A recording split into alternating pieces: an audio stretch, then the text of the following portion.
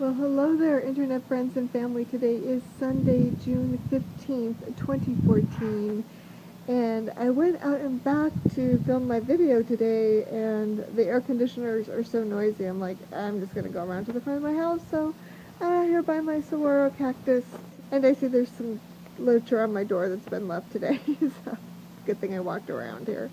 Uh, yeah, so it is Father's Day 2014. I hope all the fathers have a great day and thank you for everything you've done for us. I'll include a photo of my dad who passed away a number of years ago. But I still think of him and just want to acknowledge what a great dad he was. So anyway, uh, just kind of a mostly a stay-at-home day today uh, getting more things done around the house. Had a great day, and we'll talk to you tomorrow. Bye-bye.